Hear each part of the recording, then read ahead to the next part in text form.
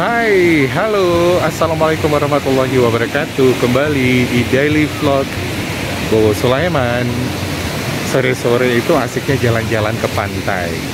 Kebetulan di rumah, dari rumah Itu kan di kota Bengkulu, pantainya deket banget. Dari rumah paling-paling cuma 10-15 menit sudah sampai di pantai. Gratis pula. Sekarang kita lagi jalan-jalan di Pantai Jakat Pantai Zakat tapi, tapi tadi sempat ke Pantai Panjang dan juga sempat belanja kacang rebus dan juga pempek bakar. Nah, nanti ada tuh liputannya mengenai pempek bakar yang enak banget tempatnya, murah, cuma 1000 perak. Sudah merasakan pempek bakar yang luar biasa enaknya. Oke, kita terus jalan-jalan ya di sore hari ini menikmati suasana pantai.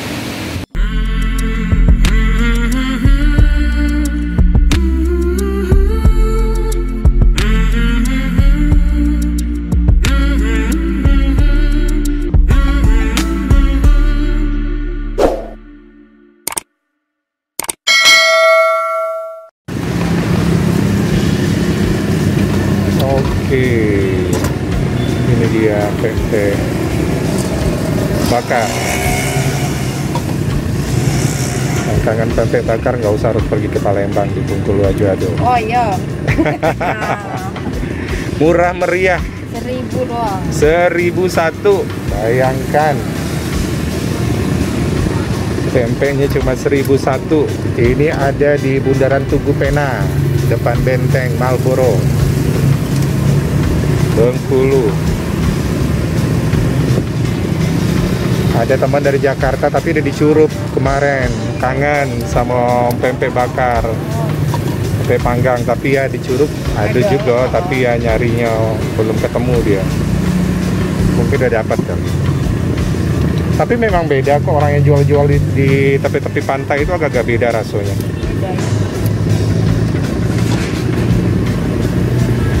Berarti sama ya ini tepung sagu, iya. tepung sagu. Ikannya ikan apa?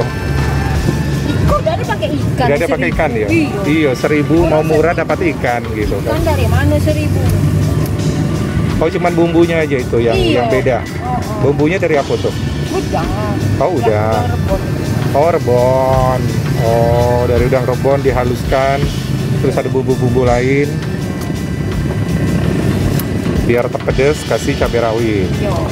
Nah, Kita makan itu dia mantap. Pokoknya sampai keringat-keringatan.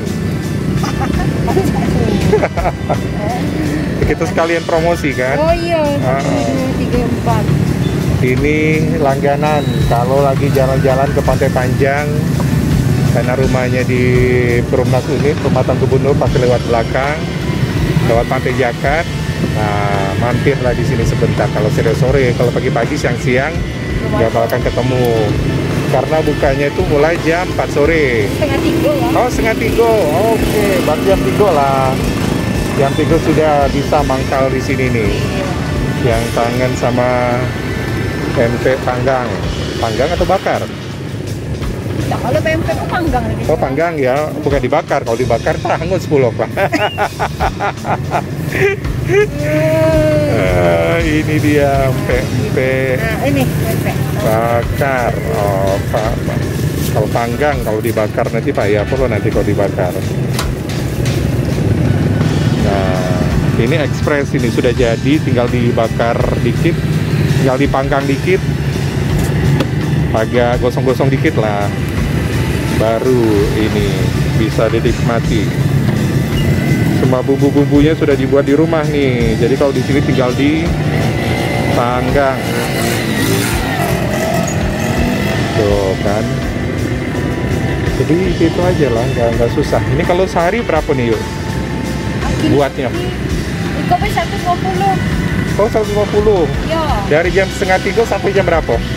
Jam jam tujuh lah balik. Oh jam 7 habis. Habis tak? Kadang udah habis juga. Aduh, ini ini gara-gara koronce nih. Jangan salahkan koroncenya juga sih. Memang Memang eh, memang udah kayak gini keadaannya mau gimana lagi dan juga memang banyak orang yang ini Bukan kita sendiri. semua iya semua orang merasakan nah memang banyak yang nggak tahu juga nih tempatnya di mana kalau udah tahu tempatnya di sini nih dekat tugu ini nih tugu eh, tugu pena tugu pers gitu baru tahu. Nah ini dia nih biar lihat dikit tempatnya nih. Nah ini dia. Oke jalan-jalan ke Pantai Panjang sempat beli kacang rebus. Itu memang paling enak tuh kacang rebusnya apalagi kacang rebusnya dari Curup. Tapi kok kacang rebusnya campuran sama lokal susah jadi kurang. Memang kacang itu yang paling enak memang dari Curup tuh. Panjang-panjang besar-besar. Isinya ya itu makanya rata-rata orang kalau untuk uh, kacang ya yang digoreng sama direbus itu dari Curup segalonya. Nah itu dia jalan-jalan sore-sore ini ujungi ayu penjual pempek panggang sudah lama tidak ada mampir. Iya, kalau mampir biasanya pagi-pagi nih ya, lewat belanja ke Pasar Burukoto. Kalau nggak siang, kalau nggak ini siang lah. Kalau sore jarang sekarang. Apalagi lagi musim hujan kan. Iya. Sore udah. Nah, berarti penjual minuman di sini sudah hijrah ke Unip. Tidak lagi. Tidak lagi. Oh, sepi juga. Nah, itulah susah sekarang. Tahu, tahu. Wah. Tahu Cina. Iya, sekarang apa aja lah dijual, yang penting halal. Iya. bisa menghasilkan uang yang penting sekarang ini ya udah ini pempeknya udah dapat nanti kita makan di rumah kita videokan lagi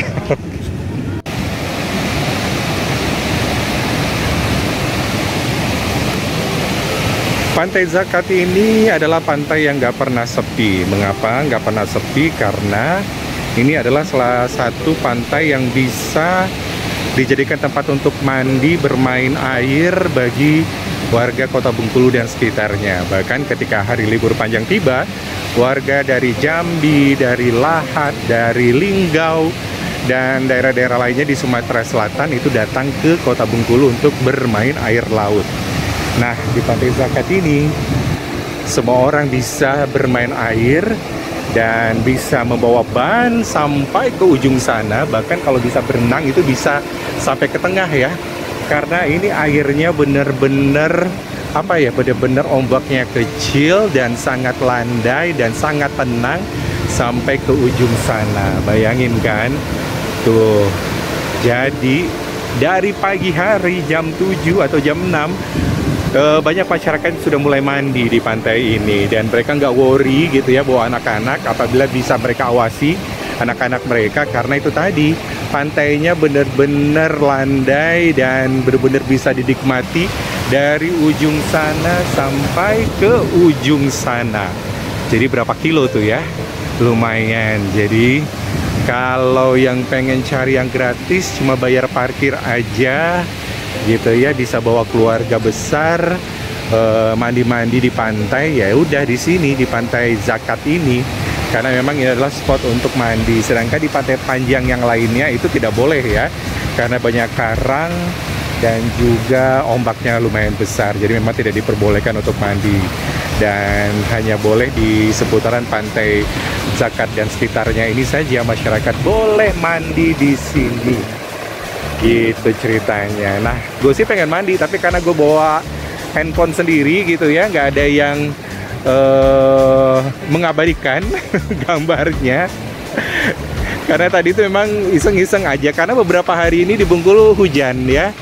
Jadi selalu mendung dan selalu hujan jadi matahari itu jarang banget. Ini sekarang sudah mendung padahal biasanya jam-jam segini orang pada bersiap-siap pengen melihat sunset. Tapi karena mendung jadi suasananya seperti ini. Nah jadi enak banget deh kalau bawa keluarga yang suka dengan laut, suka dengan pantai.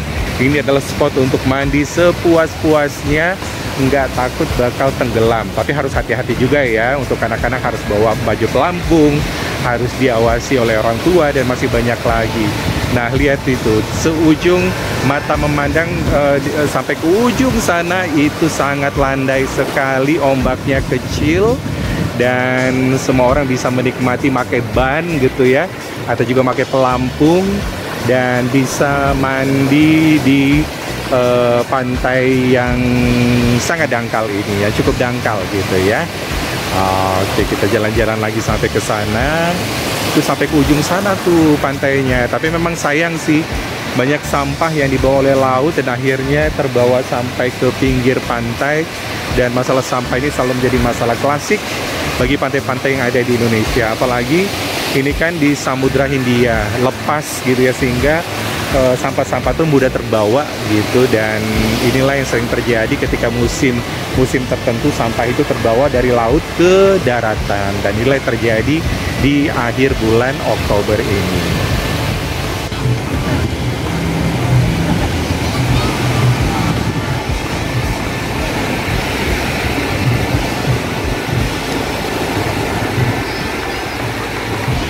bisa ada.